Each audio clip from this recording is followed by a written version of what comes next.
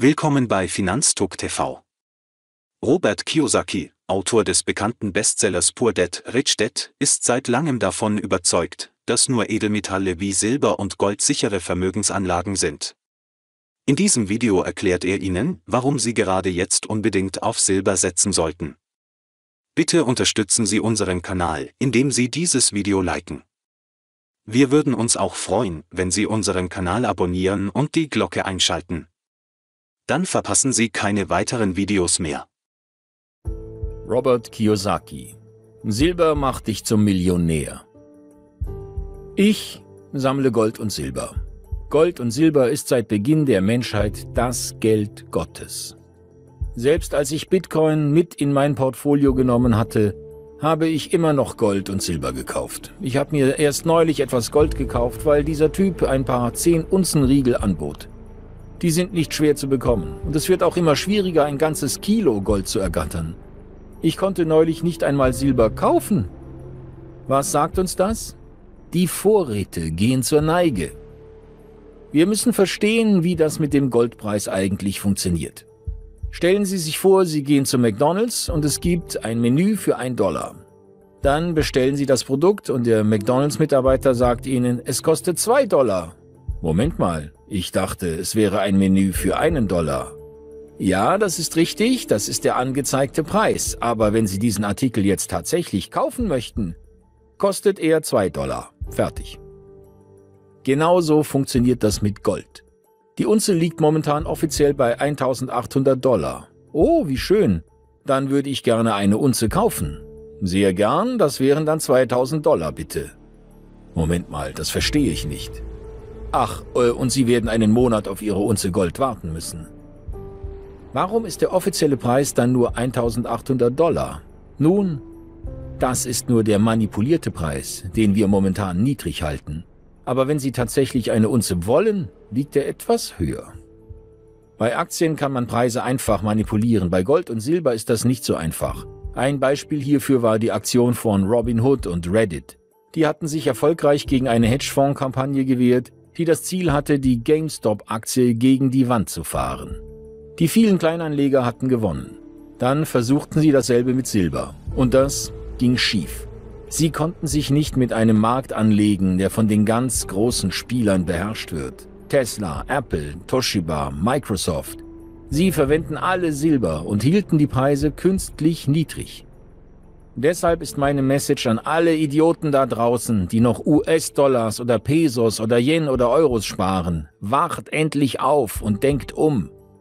Ich konzentriere mich momentan voll auf Silber, weil es immer noch 50 Prozent unter seinem Allzeithoch liegt.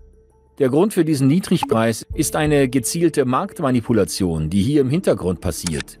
Lassen Sie mich Ihnen anhand eines kurzen Szenarios erklären, wie diese Manipulation abläuft.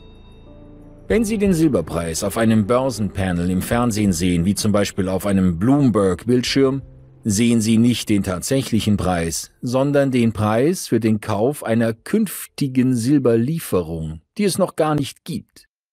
Diese imaginäre Transaktion wird in Dollar abgerechnet, damit die Jungs in New York eine unbegrenzte Menge dieser Verträge auf dem Markt verkaufen und diese in Dollar abschließen.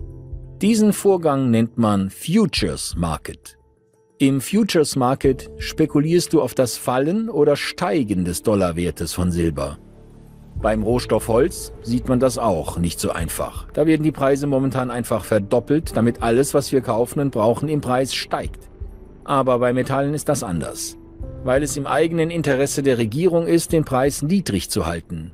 Und so erschaffen sie Finanzprodukte, die Futures genannt werden, um den Preis niedrig zu halten. Und das schafft den Unterschied zwischen Gold und anderen Rohstoffen. Für die Leute, die nun auf Bitcoin schwören, Bitcoin ist kein digitales Gold und Gold ist nicht der Standard für Bitcoin. Viele Leute fragen sich, ob sie eher Gold oder doch lieber Bitcoin kaufen sollten. Das kann man so nicht vergleichen. Das sind zwei sehr unterschiedliche Dinge und sie sollten demnach auch unterschiedlich betrachtet werden.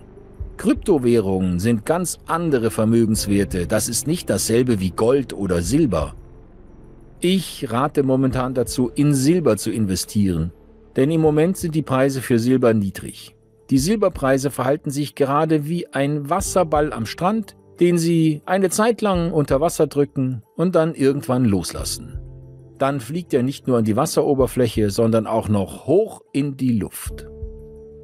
Was die Leute verstehen müssen, niemand kauft Gold, um riesige Gewinne zu machen. Gold ist kein geeignetes Medium für schnellen Handel. Bei Edelmetallen geht es um finanzielle Sicherheit. Es geht um Schutz vor Inflation, wie bei einer Brandschutzversicherung.